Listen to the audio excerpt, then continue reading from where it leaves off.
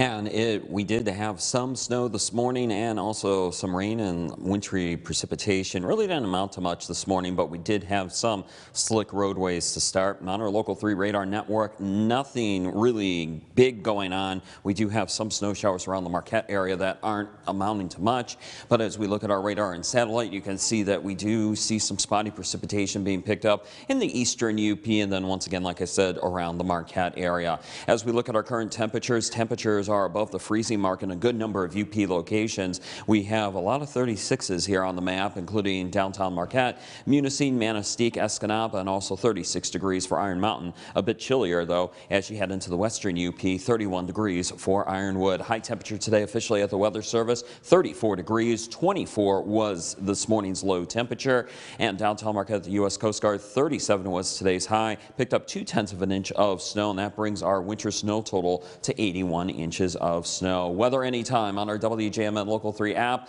also online at upmatters.com, and find us on Facebook at WJMN TV. And while you're at Facebook, join our 906 Weather Watchers page. Here's what's ahead. We're looking at light precipitation in some spots for tonight and also for Friday. Won't amount to much. Just be careful of some slick roads, especially your back and secondary roads. Our next weather note or our next weather thing that we're going to notice around here is going to come on Sunday, and that's our next storm system that's going to be coming in from Canada, Alberta Clipper type storm system, and that's going to bring us some UP-wide snow. Nothing really out of control is expected, nothing really heavy, but maybe enough to bring out the snow shovels for Sunday. And then we're looking at colder temperatures potentially as we go into next week. So here's our Local 3 Futurecast. I have the temperatures on here as well, and we'll go ahead and put this into motion here, and you can see clouds, maybe some light precipitation as we go through the rest of the night. Look for low temperatures tonight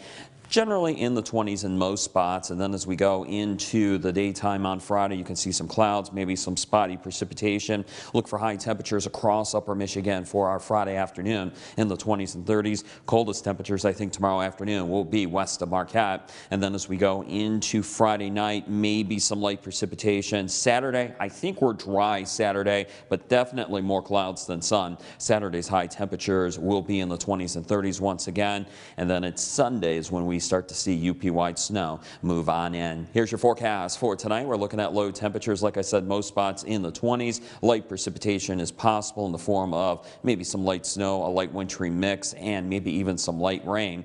Maybe some gusty winds as well, especially in the Keweenaw Peninsula, maybe closer to Lake Superior. As we look at that seven-day forecast here, we're looking at temperatures 20s and 30s the next two days. Friday, some light precipitation, and then as we go into Saturday, we're looking at mainly a cloudy day, and and then for Sunday, we're looking at some UP-wide snow to move on through. Look for high temperatures around 30 or into the 30s. Some snow showers may linger on Monday, and then on Tuesday, we have a snow chance. But as you can see, temperatures are starting to trend just a little bit colder as we go into next week, and we might flirt with a little bit of Arctic air for the middle of next week. You can see Wednesday's high temperatures will be in the teens and 20s. You can see our nighttime lows do drop off just a little bit as well with low temperatures generally in the teens in most spots. You can always get your latest weather forecast and on our website at upmatters.com. Seems like it should be pretty tame.